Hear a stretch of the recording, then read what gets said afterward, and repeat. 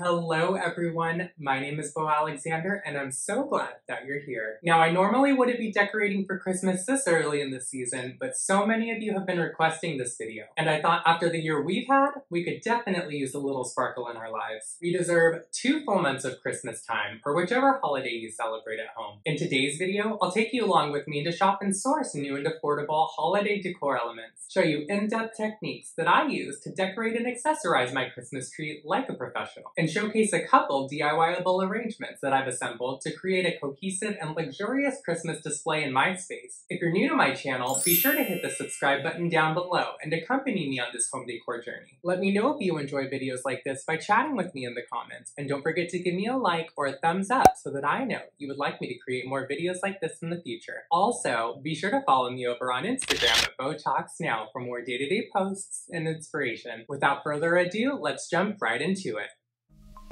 Our first stop of the day is Hobby Lobby.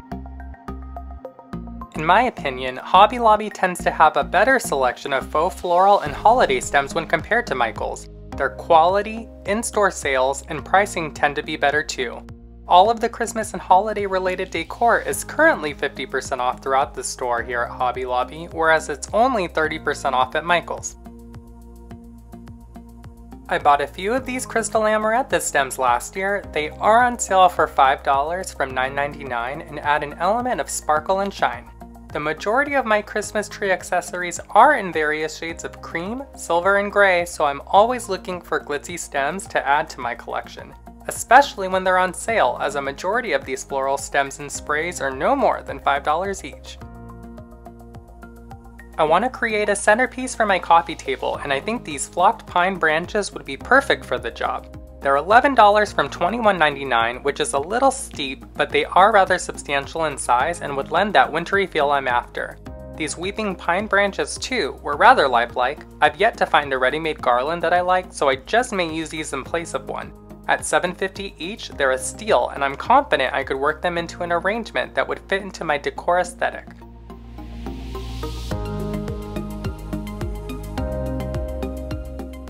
Hobby Lobby has dozens of aisles and shelves worth of these picks and sprays. They can be used for varying arrangements, centerpieces, and wreaths, but I like to use them in my tree to add visual interest, varying texture, and ultimately help balance out and fill the empty areas or holes within the tiered branches.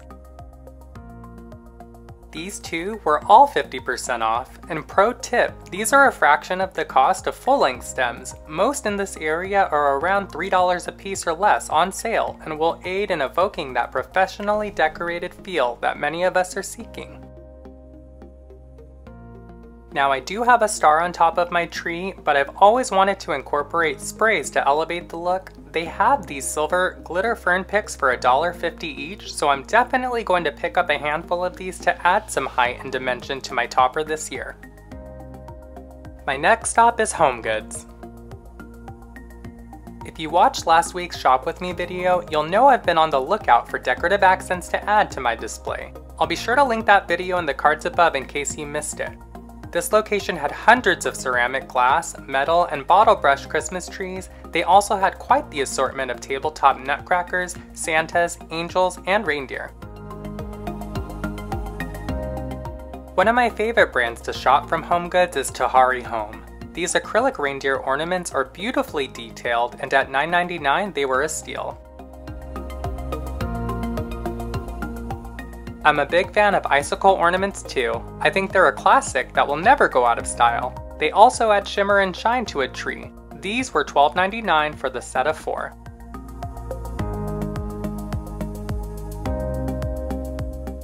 I bought similar ornaments to these last year from HomeGoods. They have quite an assortment and at $9.99 for a set of four, they're extremely affordable.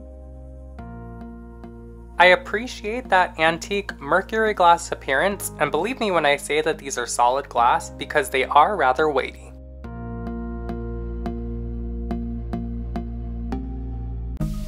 As you can see, I decided to pick up quite a few picks and stems to DIY my garland.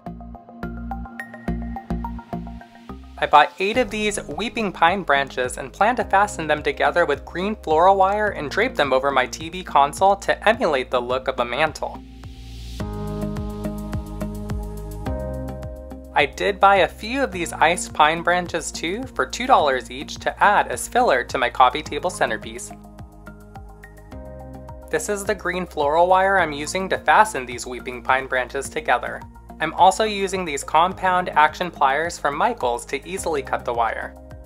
I'm not going to go too far into detail, but you can see that I essentially just wrapped the wire around the stems till all eight were used. Stick around to see the finished project at the end of the video. Now I like to vacuum before setting up my Christmas tree just to make sure that we have a clean space to work in.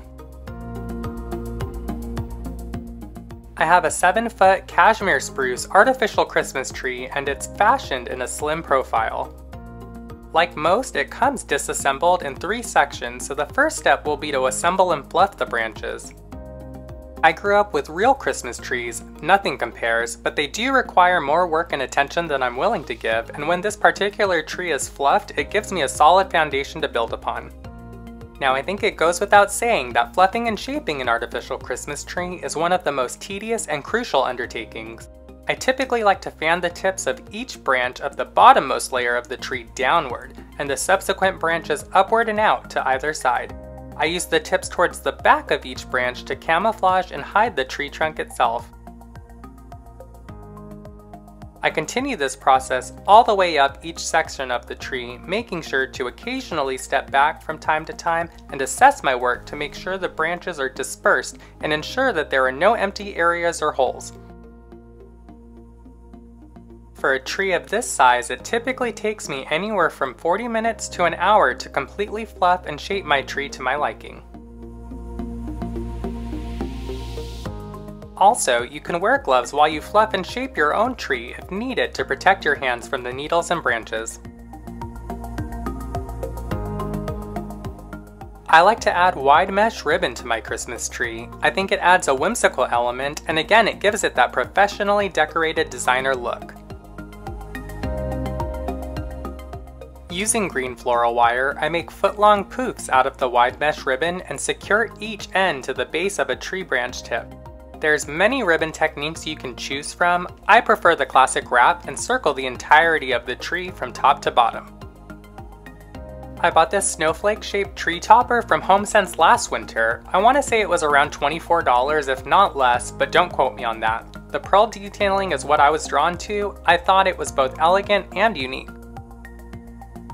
Here we have the silver glitter fern picks from Hobby Lobby. I did use all 8 that I purchased to create a spray just below my snowflake topper to draw the eye upward and give my tree dimension and added extravagance.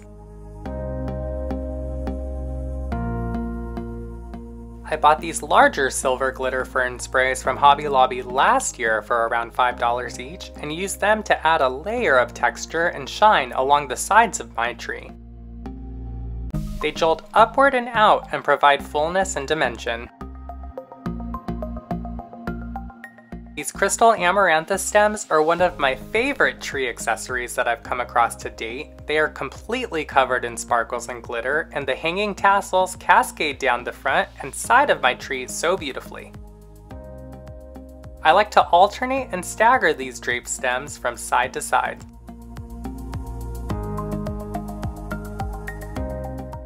Here are a few other decorative picks and stems that I picked up from Hobby Lobby last year, though they had each of these on the shelves this year too.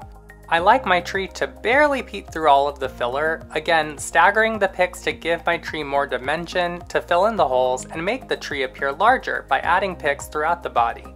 Pro tip, the picks should extend beyond the ends of the tree branches and be angled in various directions, upward, straight out, downward, whatever you find most appropriate. I also like to use artificial flowers, in this case these glittery white poinsettias for a non-traditional rendition. Personally, I decorate with a pretty obscene amount of ribbon for Christmas and I prefer the type with wired edges so I have free will to shape and manipulate the ribbon as needed. I bought both of these ribbons last year from Michaels on sale. I want to say they were around 70% off at the time and around $4 each. I try to vary the color, texture, and size of the ribbon I choose. In this case, one has a woven detail and the other glitter.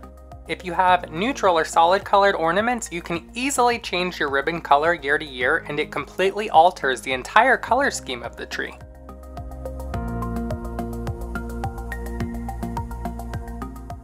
The same rules apply to ornaments. I have ornaments in varying sizes and typically try to work the larger bulbs into the sparse areas of my tree. The large glass bulbs you see here are from HomeSense and I want to say they were around $7 each. The glittered bulbs are from the Dollar Tree, believe it or not. They are plastic, but I thought they worked well with the others. Now because I'm detail oriented, I did make sure to buy these decorative ornament hooks. Visually, I think they are more appealing than the standard version that's offered, and these are much sturdier as they are nearly twice as thick. As for my regular sized bulbs, I picked up a couple different sets from HomeSense last year, one that has varying shades of cream and silver, the other tones of pewter and gray, and I use a combination of the two on my Christmas tree. I also like that they come in varying finishes, some that are glossy and others that are more matte that will reflect and refract light much differently. These are hand-blown glass ornaments by the brand Fitbis that were made in Poland. I would caution or recommend using plastic, however, if you have animals or little ones at home that have easy access to your tree. I want to point out a few other picks and sprays that I've added into this tree display. These we saw at Hobby Lobby, they're the White Urchin Glitter Picks, and I actually bought these silver glittered curly picks from Walmart. I believe they were like a dollar or two each, and I like that they had the metal clip to easily fasten them to a tree branch. That's one thing about Christmas decor, you can find accessories just about anywhere, so keep your eyes peeled. As I mentioned earlier in the video, I love dangling acrylic icicles down the facade of my tree. These are from HomeGoods. I made sure to get varying sizes, yet again smaller and larger, to mix it up a bit visually. They come 6 to a pack, the larger at $16.99 and the smaller at $12.99.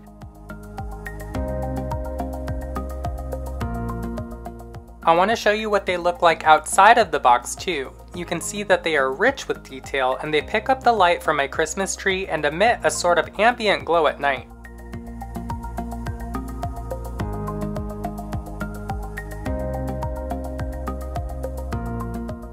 And quickly, just because some of you have been asking about the branches I posted in an Instagram photo, I bought these faux spruce stems from Target. They are part of the Magnolia Hearth and Hand collection, and they were $9.99 each for the 46 inch length.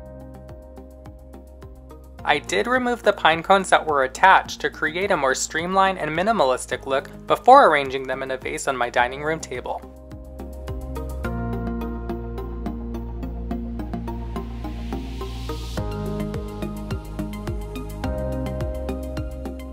Now before we dive into the big reveal, I do want to show you how I assemble my coffee table arrangement. I used the frosted pine branches from Hobby Lobby, and same as before with the garland, I bound the two with green floral wire. You can see how easy it is once they're flipped over to join them together. And when all is said and done, it will look a little something like this.